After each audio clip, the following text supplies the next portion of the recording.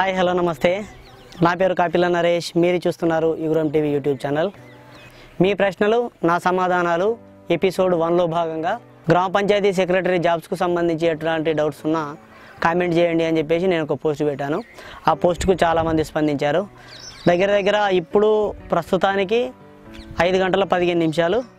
ఈ ఐదు గంటల పదిహేను నిమిషాల వరకు మూడు వందల డెబ్బై మంది స్పందించారు. మూడు వందల డెబ్బై మంది వాళ్ళు అడిగినటువంటి డౌట్స్ అన్నింటికి క్లారిఫై చేస్తూ వీడియో పూర్తిగా చూడండి. ఈ వీడియో కంప్లీట్ అయ్యేంత వరకు మీ డౌట్ను క్లారిఫై చేసుకోండి.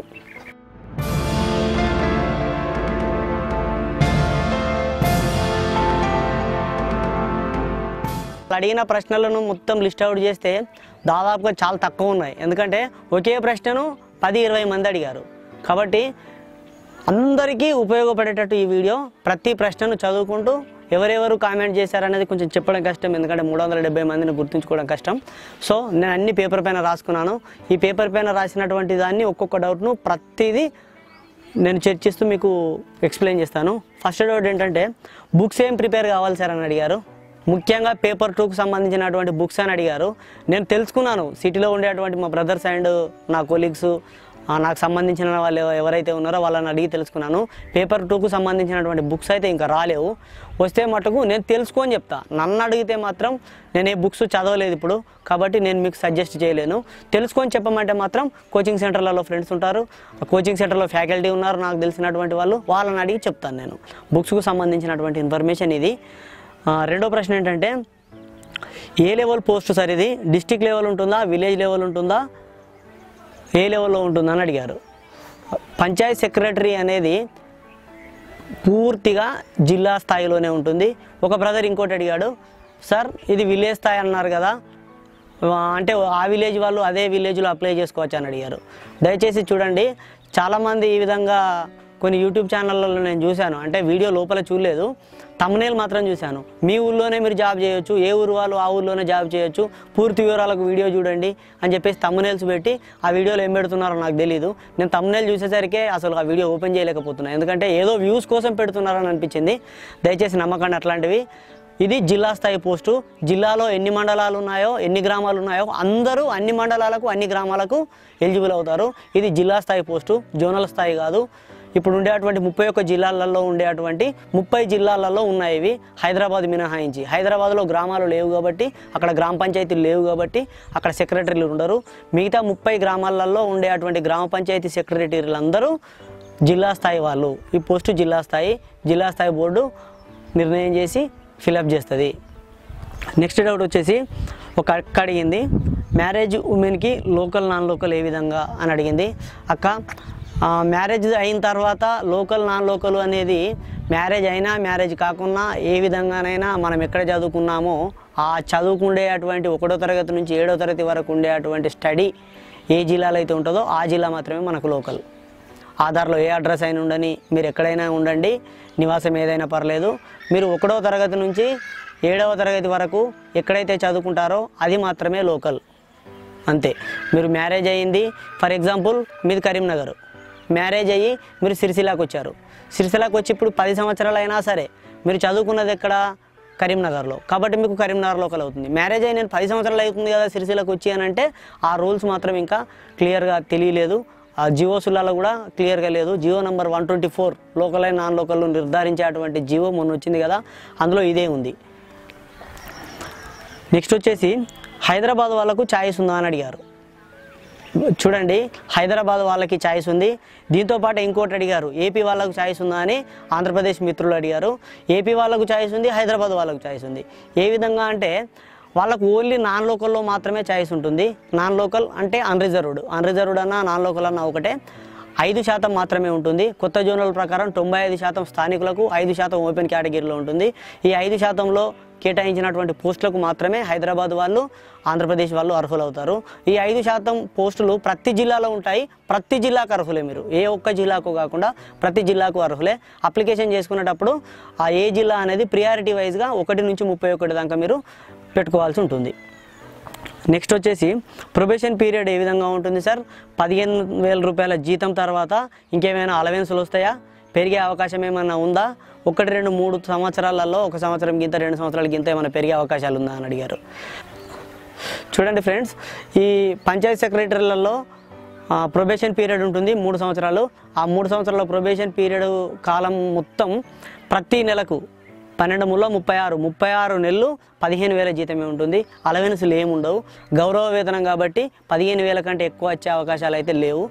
అన్ని సంవత్సరాలు అంతే. ఫస్ట్ ఇయర్ అయినా సెకండ్ ఇయర్ అయినా థర్డ్ ఇయర్ అయినా. మూడు సంవత్సరాల తర్వాత మీకు ప్రమోషన్ రూపకంగా మీ సర్వీస్ని రెగ్యులర్ చేసి అప్పుడు రెగ్యులర్ స్కేల్ ఇస్తారు. ఆ రెగ్యులర్ స్కేల్లో మీరు పదహారు వేల నాలుగు వందల రూపాయల బేసిక్ స్కేల్ని అందుకోవచ్చు.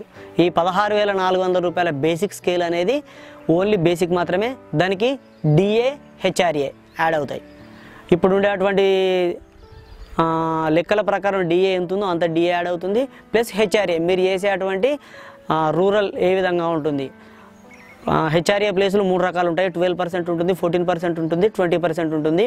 అందులో మీరు ఏ ప్రాంతంలో చేస్తే ఆ ప్రాంతంకు వర్తించేటువంటి హెచ్ఆర్ఏ హౌస్ రెంట్ అలవెన్స్ కలిపి మీకు ఇస్తారు. మళ్ళీ ఇందులో కొన్ని కట్ అవుతాయి. కట్ అయ్యేది ఏంటంటే పదహారు వేల నాలుగు వందల రూపాయల బేసిక్ శాలరీ నుంచి ten percent CPS amount cut అవుతుంది. అంటే మీకు పెన్షన్ కోసం కాంట్రిబ్యూటరీ పెన్షన్ సిస్టమ్ అని సిపిఎస్ అమౌంట్ కట్ అవుతుంది టెన్ పర్సెంట్. అన్ని పోను మీకు twenty two twenty five thousand వరకు ఈజీగా వస్తాయి.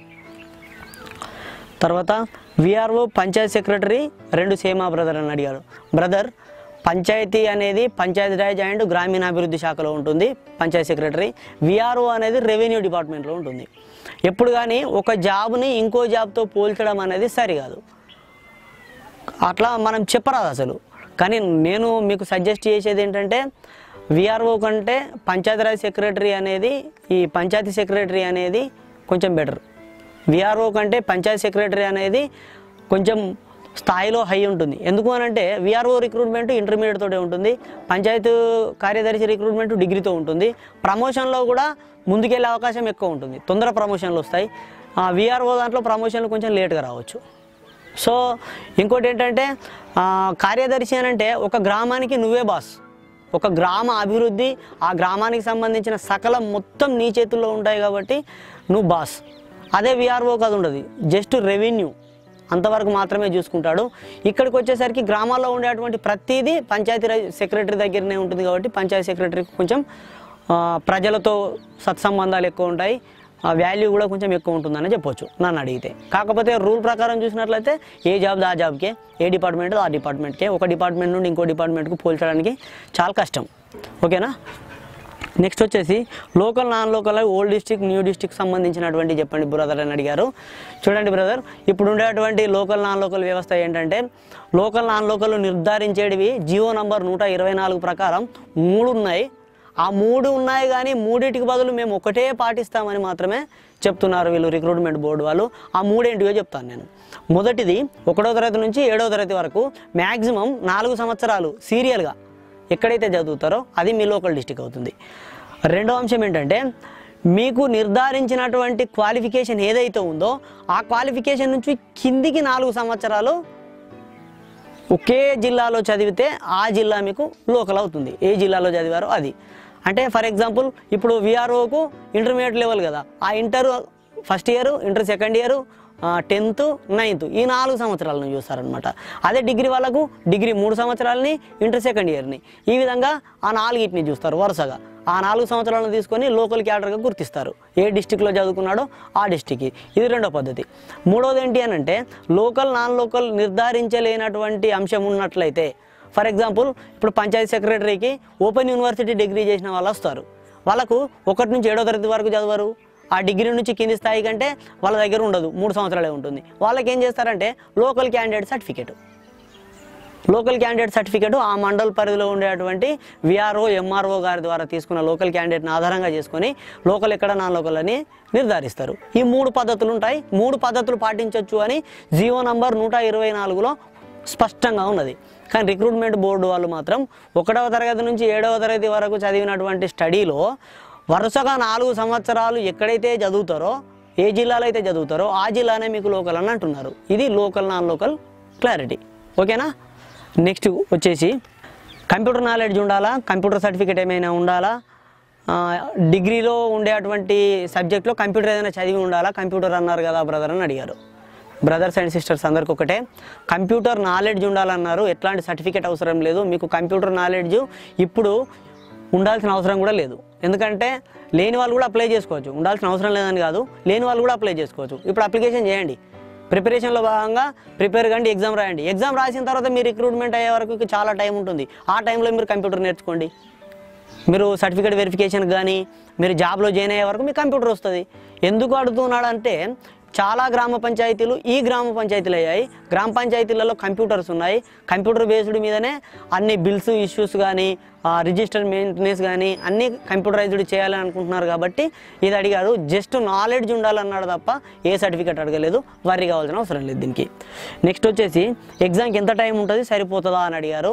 బ్రదర్ ఎగ్జామ్కి ఎంత టైం ఉంటుంది అనేది చెప్పలేము మనం. ఎందుకంటే నోటిఫికేషన్కు ఇచ్చిన టైంలోనే వాళ్ళు చెప్పారు. అతి తొందరలోనే నేను ఫిలప్ చేస్తానని చెప్పారు వాళ్ళు. పది రోజులు మాత్రమే అప్లికేషన్స్కు టైం ఇచ్చారు కాబట్టి అన్నిట్లాగా ఎక్కువ కాకుండా just forty five to fifty days కంటే ఎక్కువ ఉండదని నేను భావిస్తున్నాను. కాబట్టి జాగ్రత్తగా ప్రిపేర్ కండి. ప్రతి అంశాన్ని క్షుణ్ణంగా చదవండి. తక్కువ టైం ఉన్నది కాబట్టి బాగా చదివిన వాళ్ళకు మాత్రమే జాబ్స్ వస్తాయి. తర్వాత బీటెక్ వాళ్ళు డిప్లొమా వాళ్ళు అప్లై చేయొచ్చా అన్న అని అడిగారు. ఫ్రెండ్స్ మీరు ఒకటే నోటిఫికేషన్లో నేను పూర్తిగా చూసి నేను మీకు నోటిఫికేషన్ రివ్యూ చేసేటప్పుడు కూడా చెప్పాను. ఎనీ డిగ్రీ రికాగ్నైజ్డ్ యూజీసీ అని చెప్పాను. యూజీసీ అంటే యూనివర్సిటీ గ్రాంట్ కమిషన్ ద్వారా రికాగ్నైజ్ ఉన్నటువంటి ఏదైనా యూనివర్సిటీలో డిగ్రీ చేసి ఉండాలి. ఖచ్చితంగా డిగ్రీ ఉండాలి.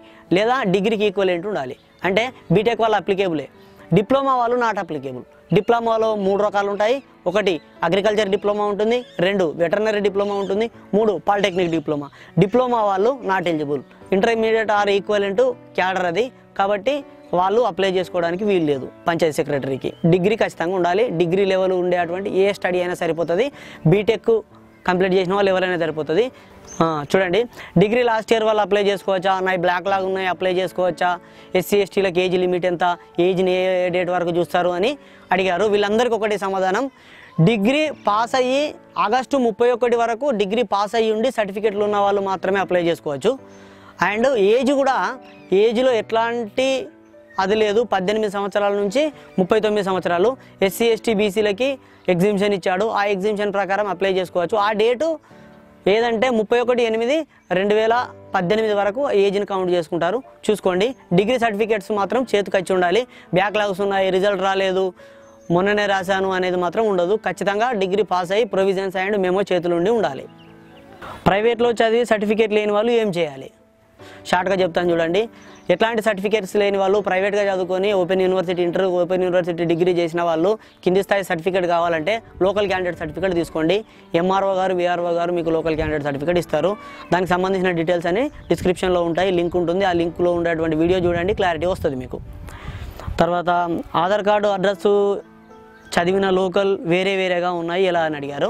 ఫ్రెండ్స్ ఎప్పుడు కానీ అడ్రస్ అనేది మీకు ఇంపార్టెంట్ కాదు. అసలు అడ్రస్కు సంబంధించింది మీకు అవసరమే లేదు. ఒకప్పుడు అడ్రస్కు బాగా వాల్యూ ఇచ్చేవాళ్ళు. ఎందుకంటే మీకు సంబంధించినటువంటి హాల్ టికెట్స్ కానీ మీకు సంబంధించినటువంటి పాస్ అయిన తర్వాత వచ్చేటువంటి కాల్ లెటర్ కానీ మీ అడ్రస్కి వచ్చేది. అప్పుడు మాత్రమే అడ్రస్కు వాల్యూ ఉండేది. ఇప్పుడు అడ్రస్లో నువ్వు ఎక్స్వైజెడ్ అని కొట్టినా కూడా నీ అప్లికేషన్ రిజెక్ట్ కాదు. మెయిన్గా ఉండాల్సింది ఏంటంటే నీ mail ID and mobile number. అది కరెక్ట్ ఉండేటట్టు చూసుకోండి. ఆధార్ కార్డులో ఏ విధంగా ఉన్నా తప్పు లేదు. ఎన్ని తప్పులు ఉన్నా కూడా తప్పులేదు సర్టిఫికేట్లో ఉన్నది మాత్రమే మీకు కరెక్ట్. సర్టిఫికేట్ వెరిఫికేషన్లో సర్టిఫికేట్సే చూస్తారు. ఆధార్ కార్డులు ఆధార్ కార్డులో తండ్రి పేరు తప్పున్నది ఆధార్ కార్డులో కులం పేరు తప్పున్నది ఇవన్నీ చూడడు. కులం ఇష్యూ చేసేది ఎవరు? ఎంఆర్ఓ గారు. ఆ సర్టిఫికేట్ ఇమ్మంటాడు అంతే ఎస్సీ ఎస్టీ బీసీ. తర్వాత ఓబీసీ సర్టిఫికేట్కు సంబంధించినటువంటి అడిగారు. అది కూడా అంతే ఎంఆర్ఓ గారు ఏదైతే ఇష్యూ చేస్తారో దాన్నే చూస్తారు. ఆధార్ కార్డు తోటి ఎట్లాంటి సంబంధాలు ఉండవు కాబట్టి మీరు వర్రీ కావాల్సిన అవసరం లేదు. ఆధార్ కార్డును వదిలేయండి. కానీ అప్లికేషన్ చేసేటప్పుడు ఆధార్ నెంబర్ అని అడుగుతుంది. ఆధార్ పైన ఉండేటువంటి పేరు ప్రకారం ఎంటర్ చేయమంటుంది. ఆధార్ కార్డులో ఎట్లుంటే అట్లనే ఎంటర్ చేయండి. నా పేరు తప్పు నేను కరెక్ట్ ఎంటర్ చేస్తా అంటే వీలు కాదు. ఎట్లయినా ఎంటర్ ఎట్లున్నదో అట్లనే ఎంటర్ చేయండి. మీకు ఎట్లాంటి వరి పడాల్సిన అవసరం లేదు. ఇంకొకటి ఏంటంటే మీరు వేలు ముద్రలు వేయాల్సి ఉంటుంది ఎగ్జామ్కి వెళ్ళేటప్పుడు. అప్పుడు డైరెక్ట్ మీ ఏలు ముద్రలు తీసుకుంటారు కాబట్టి ఆధార్ కార్డు అక్కడ డిటెక్ట్ అవుతుంది. మీరు వరి కావాల్సిన అవసరం లేదు ఆధార్ కార్డును వదిలేయండి అడ్రస్ను వదిలేయండి. జస్ట్ మీ మెమో సర్టిఫికేట్స్ స్టడీ సర్టిఫికేట్స్ అన్నీ కరెక్ట్ ఉన్నాయా లేదా చూసుకోండి అంతే. నెగిటివ్ మార్కింగ్ ఉందా? ఏ విధంగా ఉంది? వన్ వన్ బై ఫోర్తా లేకపోతే వన్ బై థర్డా అని అడుగుతున్నారు. బ్రదర్ నెగిటివ్ మార్క్స్ ఉన్నాయి. వన్ బై ఫోర్త్ మనకు ముందుగా వికాస్ రాజ్ గారు డెబ్బై ఏడో జీవో నంబర్ను విడుదల చేశారు మార్గదర్శకాలని. ఆ మార్గదర్శకాలలో వేరే ఉంది వన్ బై థర్డ్ అని. ఆ, ఫైనల్ నోటిఫికేషన్లో వన్ బై ఫోర్త్ అని ఉన్నది. మనం ఏదైనా కూడా ఫైనల్ నోటిఫికేషనే మనకు ఆధారం. ఫైనల్ నోటిఫికేషన్ ప్రకారం వన్ బై ఫోర్త్. నాలుగు తప్పు ఆన్సర్లు చేసినప్పుడు మీకు మీరు వచ్చినటువంటి ఆన్సర్ నుంచి ఒక మార్క్ కట్ అవుతుంది. One by fourth negative marks. తర్వాత సెలక్షన్ ఎలా చేస్తారు? వన్ ఇస్ టు త్రీయా వేరేనా? ఇంటర్వ్యూ ఉంటుందా అని అడిగారు. సెలక్షన్ అనేది ఖచ్చితంగా వన్ ఇస్ టు త్రీ ఉంటుంది. వన్ ఇస్ టు త్రీ ఉన్నా వన్ ఇస్ టు టూ ఉన్నా ఏ విధంగా ఉన్నా ఆటోమేటిక్గా టాపర్కే జాబ్స్ వస్తాయి. వరి కావాల్సిన అవసరం లేదు. సెలక్షన్ సెలక్షన్ ప్రాసెస్ ఏ విధంగా ఉంటుంది అని అంటే కమిటీ వేశారు కదా ఎనిమిది మందితో. ఆ ఎనిమిది మందితో వేసినటువంటి డిఎస్సి కమిటీ ఏం చేస్తుంది అని అంటే ఎగ్జామ్ పెడుతుంది మెరిట్ లిస్ట్ తీస్తుంది. ఆ మెరిట్ లిస్టులు తీసినటువంటి వాళ్ళని సర్టిఫికేట్ వెరిఫికేషన్కి పిలుస్తుంది. సర్టిఫికేట్ వెరిఫికేషన్కు పాస్ అయినటువంటి అందరి లిస్ట్ని ఏం చేస్తుందంటే కలెక్టర్కు పంపుతుంది. ఆ జిల్లాలో ఉన్నటువంటి కలెక్టరు రోస్టర్ విధానం ప్రకారం ఏ పోస్ట్ ఎవరికి ఇవ్వాలి ఎన్ని ఏ ప్లేస్లో ఇవ్వాలి అని రోస్టర్ కమ్ రిజర్వేషన్ ప్రకారం జాబ్స్ ఇస్తాడు. ఇది recruitment process wife and husband job చేస్తే వేరే వేరే డిస్టిక్లో ఉండాలా? ఎలా? బ్రదర్ వైఫ్ అండ్ హస్బెండ్ ఇద్దరు జాబ్స్ వస్తే వేరే వేరే డిస్టిక్లో ఉండాలా అని అడిగారు. అది ఎవరైనా చేసేదే అది రూలు. ఇప్పటికీ చాలామంది ఎంప్లాయీస్ అలాగే ఉన్నారు. మా టీచర్ల దాంట్లోనైతే చాలామంది ఉన్నారు. మెదక్ డిస్టిక్లో భర్త కరీంనగర్ డిస్టిక్లో భార్య. హైదరాబాద్లో భర్త రంగారెడ్డిలో భార్య. అట్లా చాలామంది ఉన్నారు. మీరు చదివినటువంటి స్టడీ ప్రకారమే మీకు లోకల్ అవుతుంది. అంతేగాని లోకల్ క్యాడర్ అనేది పెళ్ళి చేసుకున్న అడ్రస్ మారినంత మాత్రాన లోకల్ క్యాడర్ మారది. సో మీ లోకల్లో జాబ్ చేస్తూ అంతర్ జిల్లా బదిలీలలో ఒక జిల్లా నుంచి ఇంకో జిల్లాకి రావచ్చు. ఒక జోరం నుంచి ఇంకో జిల్లాకి మీరు బదిలీ కావచ్చు. దానికి వరి పడాల్సిన అవసరం ఏం లేదు. First job సంపాదించండి. జాబ్ వచ్చిన తర్వాత జాబ్ చేయండి. జిల్లా బార్డర్లలో చూసుకోండి. రెండు పక్క పక్క జిల్లాలో అయితే బార్డర్లలో చూసుకొని ఒక దగ్గర ఉండే ప్రయత్నం చేయండి. లేదు అని అంటే ట్రాన్స్ఫర్స్ వరకు వెయిట్ చేసి ఒకే జిల్లాకు వచ్చే ప్రయత్నం చేయండి. ఓపెన్ ట్వంటీ పర్సెంటా లేక ఫైవ్ పర్సెంటా అని అడిగారు. ఫైవ్ పర్సెంటే నైంటీ ఫైవ్ పర్సెంట్ లోకలే. అందులో ఇస్తారు చూడండి ఫార్టీ ఫైవ్ పర్సెంట్ అని చెప్పేసి నోటిఫికేషన్లో జనరల్ ఫార్టీ ఫైవ్ పర్సెంట్ అంటే మామూలుగా ఫిఫ్టీ పర్సెంట్ ఉండాలి. ఫార్టీ ఫైవ్ పర్సెంట్ లోకల్లో ఉండేటువంటి జనరల్కే మిగతా ఫైవ్ పర్సెంట్ అనేది అదర్ డిస్టిక్ వాళ్ళకి అండ్ అందరికీ కలిపి అవకాశం ఉంటుంది అందులో. చూడండి ఒకసారి నోటిఫికేషన్లో క్లియర్గా తర్వాత ఒకే మండల్లో వేరే స్కూల్లో చదివాను. ఎలా? బ్రదర్ మీరు ఒకటో తరగతి నుంచి ఏడో తరగతి వరకు చదివినటువంటి స్టడీ ఒకే జిల్లాలో ఉంటే సరిపోతుంది అంతే. ఎన్ని స్కూళ్ళనే మారండి ఎన్ని మండలాలైనా మారండి ఏం కాదు. ఒకటే జిల్లాలో ఉండేటట్లు చూసుకోండి. ఎందుకంటే ఇది జిల్లా స్థాయి పోస్టు. మీకు జిల్లా స్థాయి కంటే కింది స్థాయి పోస్ట్ ఉండవు.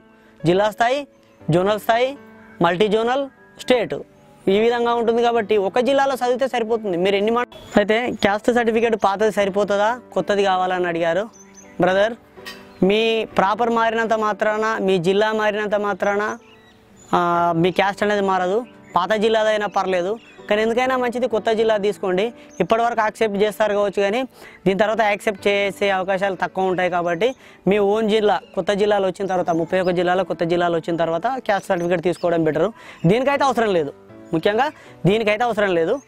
తెలంగాణలో చదివి ఆంధ్ర వాళ్ళని పెళ్ళి చేసుకున్న వాళ్ళ పరిస్థితి ఎట్లాంటి సార్ అని అడిగారు.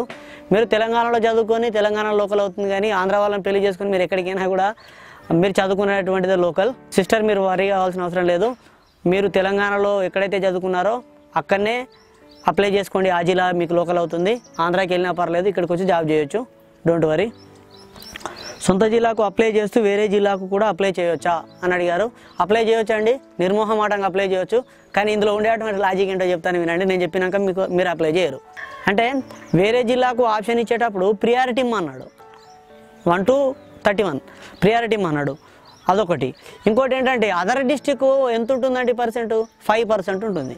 ఈ ఫైవ్ పర్సెంట్లో జాబ్ సంపాదించే అంత కెపాసిటీ నీ దగ్గర ఉంటే మీ డిస్టిక్లో నువ్వు టాపు డిస్టిక్లో టాప్ వచ్చిన వాళ్ళకి మాత్రమే అదర్ డిస్టిక్లో ఓపెన్లో జాబ్ సంపాదించగలరు. అట్లాంటప్పుడు మనకు అదర్ డిస్టిక్తో సంబంధం ఏమున్నది? మన డిస్టిక్లో మన టాపర్లం కాబట్టి నువ్వు కోరుకునేటువంటి గ్రామ పంచాయతీ దొరుకుతుంది నీకు. రోస్టర్ పాయింట్లో నువ్వే ముందుంటావు. టాపర్స్ వాళ్ళకి టాప్ ఫైవ్ పర్సెంట్ వాళ్ళకే వస్తుందని అర్థం కదా? ఫైవ్ పర్సెంట్ అంటే. సో టాప్ ఫైవ్ పర్సెంట్లో ఉన్నప్పుడు నువ్వు అదర్ డిస్టిక్లో ఎందుకు తీసుకుంటావు? ఆ ఆప్షన్ పెట్టినా కూడా నీ సొంత జిల్లాలోనే తీసుకుంటావు. చాలామంది ఏమనుకుంటారంటే మన జిల్లాలో రాకపోతే పక్క జిల్లాలోనే వస్తుంది కదా అని అనుకుంటారు. అట్లాంటిది కాదు ఇది. కొ- కొందరు ఉంటారు. ఎట్లా అంటే తను కరీంనగర్లో చదువుకుంటాడు. కరీంనగర్ లోకల్ అవుతుంది. కానీ సిరిసిలకి రావడం ఇష్టం. అప్పుడు ఏం చేస్తాడంటే నాన్ లోకల్ కింద సిరిసిల ఆప్షన్ పెట్టి అక్కడ టాపర్ ఫైవ్ వస్తే తను సిరిసిలలో తీసుకుంటే అవకాశం ఉంటుంది. అవి అట్లాంటి వాళ్ళకు పనిచేస్తుంది తప్ప మిగతా వాళ్ళకి ఎవరికి పని చేయదు. పెట్టడం వేస్ట్ మీ ఇష్టం పెట్టుకోండి. పెట్టుకున్నంత మాత్రాన పోయేదేం లేదు. ఎక్కువ డబ్బులు ఖర్చు అయ్యేటివి లేవు. ఎక్కువ చదవాల్సిన అవసరం లేదు. అంతా గంతే చదువు అంతా గంతే కాబట్టి పెట్టుకుని అయితే పెట్టుకోండి. మీకు ఆప్షన్ ఇచ్చుకునేటప్పుడు మీరు ఎక్కడంటే అక్కడ ఆప్షన్ తీసుకోవచ్చు. అంటే జాబ్ పాయింట్. మీరు ఎక్కడంటే అక్కడ తీసుకోవచ్చు. ఓకేనా? ఇట్లాంటి వీడియోలు ఈ ఎపిసోడ్ వన్ ఇవాళ అయిపోయింది. ఇట్లాంటి వీడియోలు ఎపిసోడ్ టూ ఎపిసోడ్ త్రీ ఇంకా చాలా ఉంటాయి. నేను ఆ అభ్యర్థులందరూ అడిగేటువంటి ప్రశ్నలన్నింటినీ జమ చేసి వీడియో రూపకంగా చెప్తాను. మూడు వందల డెబ్బై మంది కామెంట్ చేశారు. వాళ్ళందరికీ నేను కరెక్ట్ సమాధానం ఇచ్చినా అని అనుకుంటున్నాను. ఎవరైనా ఇవ్వకపోతే ఈ వీడియో కింద కామెంట్ చేయండి. మళ్ళీ వివరిస్తాను. వర్రీ కావాల్సిన అవసరం లేదు. నెక్స్ట్ టాపిక్ మీద ఎపిసోడ్ టూలో మళ్ళీ కలుసుకుందాం. మీకు సంబంధించినటువంటి డౌట్స్తో నేను మళ్ళీ సమాధానాలతో మీ ముందుంటా. నా వీడియో నచ్చితే లైక్ చేయండి. నేను కరెక్ట్ చెప్పకపోతే నన్ను డిస్లైక్ చేసేయండి. యూజ్ఫుల్ అనిపిస్తే ఫ్రెండ్స్కి షేర్ చేయండి. ఇలాంటి ఎడ్యుకేషన్ జాబ్స్ రిక్రూట్మెంట్స్కు సంబంధించినటువంటి వీడియోస్ కోసం నా ఛానల్ సబ్స్క్రైబ్ చేయండి. వెంటనే వెంటనే మీకు నోటిఫికేషన్స్ రావాలి అంటే బెల్ బటన్ పైన క్లిక్ చేయండి. Thank you thank you everyone.